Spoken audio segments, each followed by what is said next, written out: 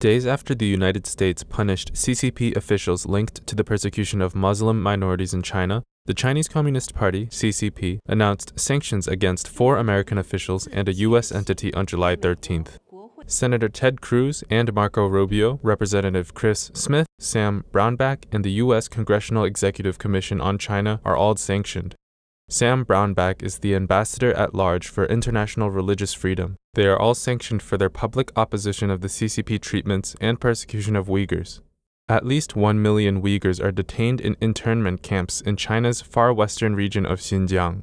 On July 13th, a spokesperson from the U.S. Department of State said China's retaliatory measures further demonstrates the CCP's refusal to take responsibility for its actions in Xinjiang. There is no moral equivalency between these PRC, People's Republic of China, sanctions and actions taken by countries holding accountable CCP officials for their human rights abuses, the spokesperson added. Rubio wrote on Twitter, The Communist Party of hashtag China has banned me from entering the country. I guess they don't like me?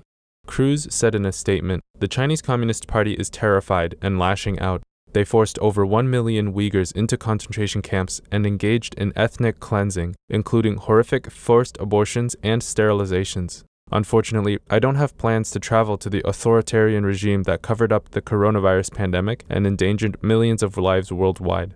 Smith says that state run outlet Global Times previously threatened countermeasures against him for his advocacy work targeting China's human rights abuses.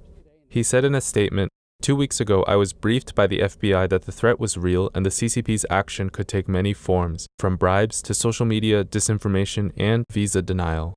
When COVID 19 abates, I was slash am planning a trip to Hong Kong, Beijing, and Urumqi, the capital of Xinjiang. We must continue to stand with the Chinese people against an increasingly authoritarian Chinese government that represses legitimate desires for liberty and justice. Smith didn't clarify whether those plans have been cancelled.